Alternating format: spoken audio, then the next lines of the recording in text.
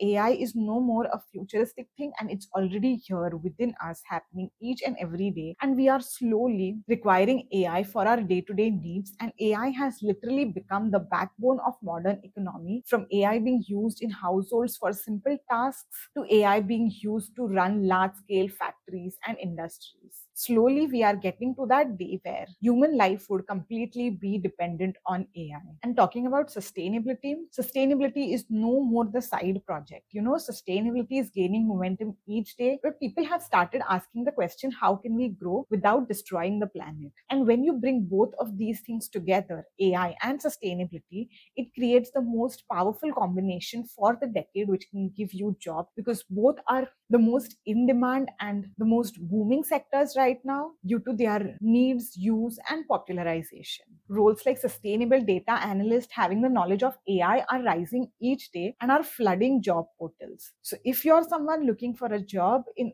sustainability and have a drive for data, tech, and AI, this is the right video for you to understand how you can actually make an impact for the planet with your super skills of tech and AI.